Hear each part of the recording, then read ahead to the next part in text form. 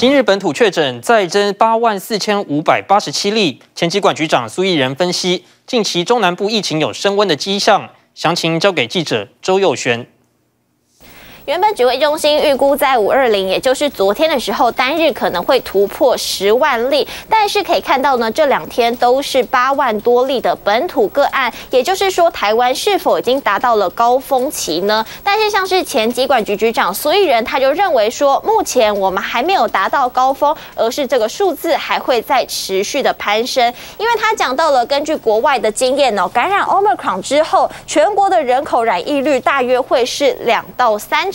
换算下来呢，台湾可能会至少有四百七十万人确诊。不过目前我们本土大约是只有百万人在今年的时候染疫，所以他认为说可能整体的数字还藏有很多的黑数哦。他分析其中的原因，虽然现在双北看似是比较趋缓的，但是很多人可能是快筛阳性，因为工作上面的一些考量，所以不愿意去裁剪 PCR。另外呢，PCR 的人力可能也会不。足导致案例较慢会出现呢，而且他更分析了，目前我们台湾可以看到整波的本土是慢慢的往中南部在蔓延哦。他特别举台中为案例哦，可以看到呢，在五月十五号的时候，台中大约是突破了四千例，但是呢，到了五月二十号的时候就已经突破了七千例，而且呢，在台南还有高雄也都是有类似的趋势，所以所以人认为说这些都更要值得关注。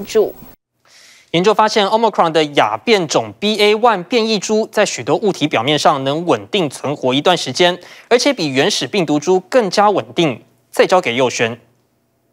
大家都知道，Omicron 它的传播速度呢是比原始株还要更加的快速，而且传播力也更加强大哦。所以呢，香港大学就有针对了 BA. 点一这一款变异株来进行研究，发现到说它在多种物体的表面上能够稳定的存活一段时间哦。首先可以看到呢，BA. 点一的变异株在纸巾上面长达时间居然可以停留三十分钟，而且呢，印刷纸像是报纸等等也。有有多达十五分钟都是具有活性的，而我们常使用到的像是聚丙烯的塑胶以及玻璃的表面呢，也能长达。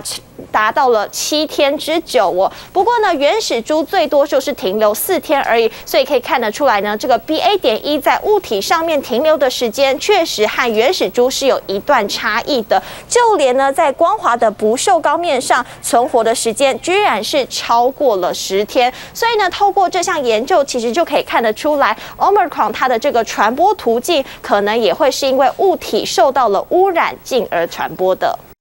来看看确诊者要怎么吃比较好。现在的很多的确诊者呢，都是在家居家照护。那到底该怎么吃才能尽快的恢复体力呢？有营养师就分析了几项的条件来提供给大家哦。首先可以看到呢，像是每餐都要有足够的蛋白质，因为这对于组织的修复还有代谢的恢复都有很好的帮助。第二点就是要吃这个含有维生素 C 的水水果，像是木瓜、芭乐还有百香果都会是不错的选择，以及要摄取。足够的热量，像是呢全谷杂粮类就能够提供热量以及微量的营养素，但是最关键的是每天都一定要喝至少两千 CC 以上的水哦。如果想要有一些替代品的话，像是电解质的补充品、果汁、豆浆以及牛奶也都会是不错的选择。而大家都知道说呢，感染了 Omicron 之后，很常出现的症状就会是喉咙痛，所以呢营养师就讲到了，大家或许可以利用数漱。口来缓解口腔之间的细菌病毒，而如果说吃不下东西的话，或许也可以参考像是温度低的食物，以及呢这个优格、冰淇淋都会是比较不错的选择。如果说是食欲不振的话，或许也可以采用少量多餐的方式，也就是尽快的来恢复体力，掌握全球情势、国际新闻，全新选择 YT 频道 TVBS 国际 Plus，扩大视野，欢迎订阅并开启小铃铛。